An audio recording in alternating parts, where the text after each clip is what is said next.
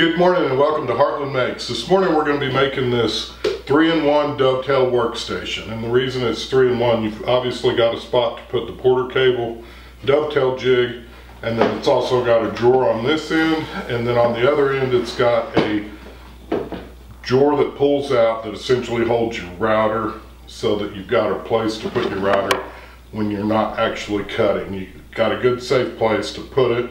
You don't have to worry about your bit damaging your workbench or anything else. It's just a nice little router stand on the other end. So that's what this video is and let's go ahead and we'll get started.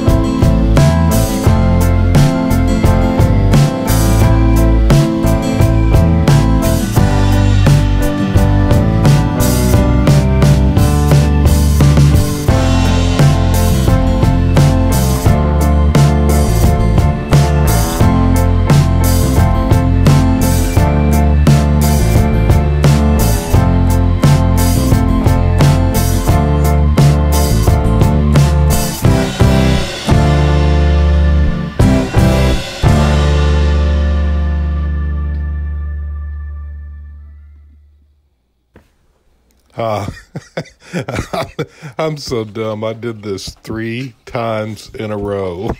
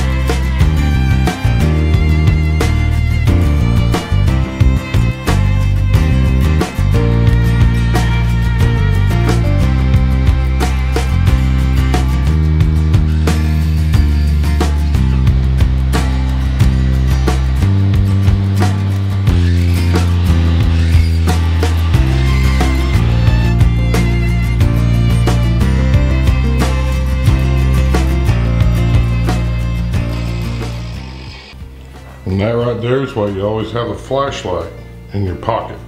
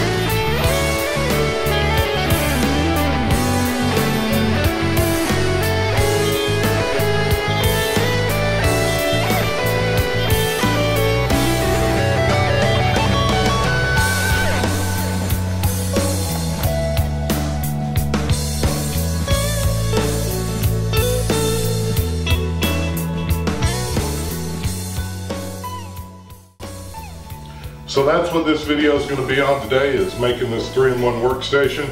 We followed some plans that actually came in Wood Magazine's article and this is, let's see here, the December, January 2021 magazine.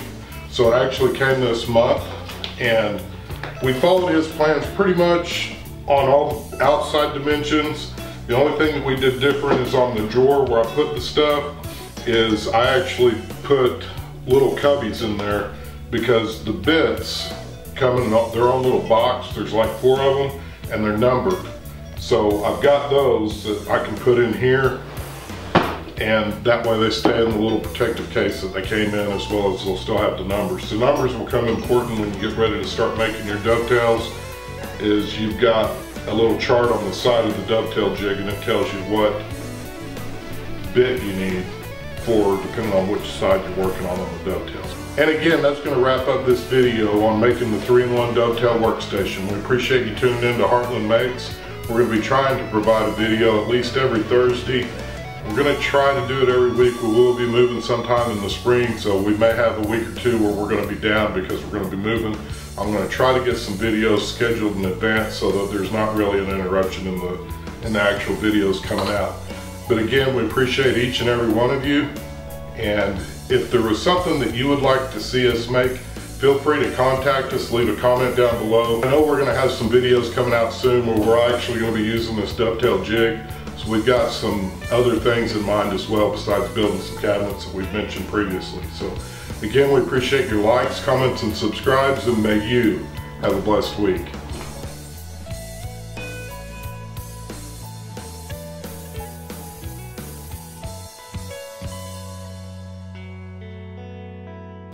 So that's what the video is, and let's get to making.